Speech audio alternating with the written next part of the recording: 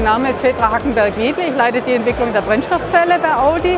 Wir entwickeln hier nicht nur für Audi-Fahrzeuge, sondern für den gesamten Volkswagen-Konzern. Im Bereich der Brennstoffzellenentwicklung haben wir diverse Stellen in der Konstruktion, im Versuch, in der Applikation und wir suchen natürlich auch immer wieder Spezialisten in der Elektrochemie, vor allen Dingen für die Stapelentwicklung.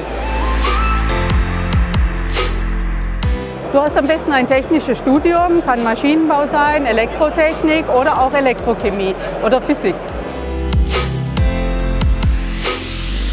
Ah, ich biete dir einen spannenden Arbeitsalltag in einer ganz neuen Technologie.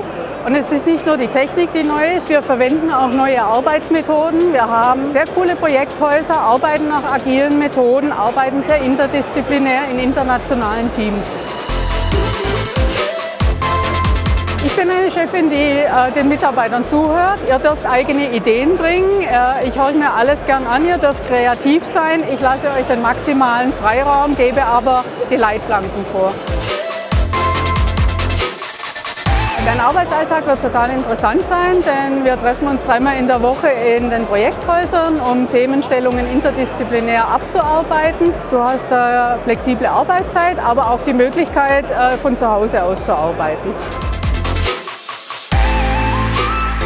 Ganz einfach äh, im äh, Internet unter audi.com/jobs und dann nach der Brennstoffzelle suchen. Ich freue mich auf deine Bewerbung.